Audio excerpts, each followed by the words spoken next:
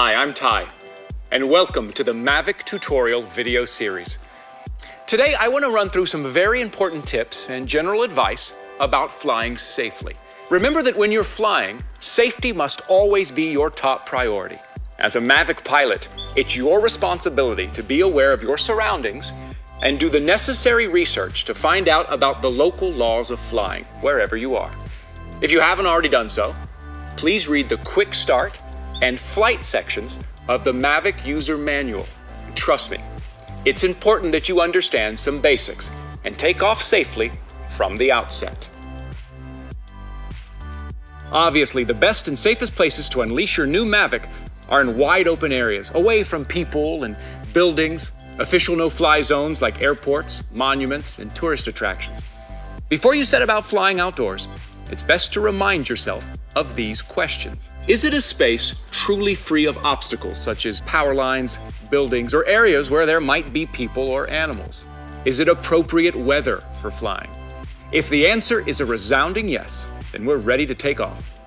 Flying is addictively fun. So remember that it's your responsibility as a pilot to maintain control of your Mavic at all times, even if you're using automated functions like Active Track or Tap Fly. Always keep hands on the controller in case you need to take immediate control during an automated flight. Maintain a line of sight with your Mavic at all times, and be careful not to fly too far away or behind structures that might block your view.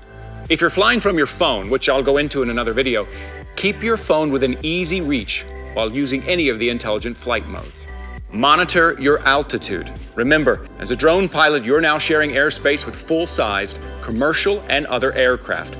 So it's best to avoid flying over 400 feet or 120 meters above ground level. To fly the Mavic safely, orientation and compass calibration are extremely important. First, let's familiarize ourselves with some basic flight maneuvers. The left stick of the controller controls altitude and yaw. Push the left stick up to go higher, and pull it down to go lower. Push the left stick left and right to rotate left and right. The right stick controls pitch and roll, which is essentially front-back, left-right movement. To fly forwards, push the right stick up, and to go backwards, just pull it down. Push the right stick left or right to move left or right. Remember, fly slowly and steadily at first to get a feel for the controls and the Mavic. Well, now that we've gone through a few basic essentials, it's time to get the Mavic up in the air. If you receive a compass error, you will need to calibrate the compass on the DJI Go app. Tap the status bar in the top center of the screen. In the compass line, tap Calibrate, then tap OK in the pop-up menu box. Hold and rotate the Mavic 360 degrees horizontally in a counterclockwise direction. The status indicators should remain yellow while you do this. When they turn green, horizontal calibration is complete. Next, tilt the Mavic downwards vertically, with the camera facing the ground. Repeat the 360 degrees counterclockwise movement. The Mavic indicators should flash green quickly to indicate successful calibration. If the lights flash alternate red and yellow, or rapid red, then compass calibration has failed. You might be standing near metallic objects that are interfering with the calibration. Just move away and try again. Once you've completed compass calibration, place the Mavic on a flat surface and wait for it to warm up for a few seconds. The DJI Go status bar will turn green and say ready to go. Now, you're ready to fly. We're ready for takeoff. Launching your Mavic into the sky couldn't be easier. First, check the propellers for any scratches or damage. These may unbalance your Mavic, making it less easy to fly. Next, switch the propellers on by holding the control sticks down and toward the middle. The rotors will start to spin. Push the left stick up to start to ascend. Or use the DJI Go app to take off by swiping your finger. Once the Mavic is at a comfortable height, release the left stick and it will hover in place. The Mavic is an incredibly intelligent aircraft and will be using its obstacle sensing system to see where it's flying. stopping in front of objects automatically to avoid collisions. The same system means that when you press return to home, the Mavic will avoid obstacles in its path as it comes back to you.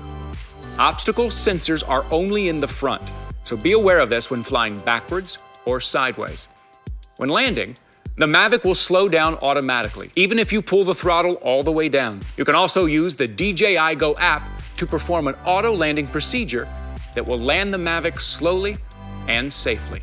Now, once you're on the ground, turn off the propellers by pulling the left stick all the way down and holding for three seconds until the rotors stop. Congratulations!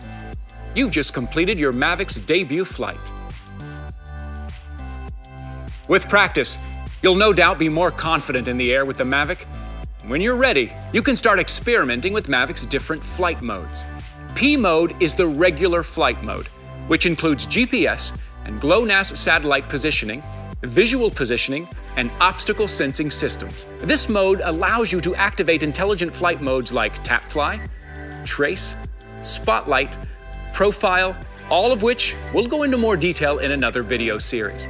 S mode is sport mode and is intended for fun, giving the Mavic a top speed of 40 miles per hour or 64.8 kilometers per hour. With amped up agility and responsiveness, S mode gives you a taste of lightning quick drone racing while maintaining satellite positioning support. Be careful though. S mode doesn't include obstacle sensing. Practice makes perfect. So get out there and watch your confidence soar. Well, now we've gone through how to fly. In our next video, we'll show you how to use the standout features of your new DJI Mavic. Thanks for watching.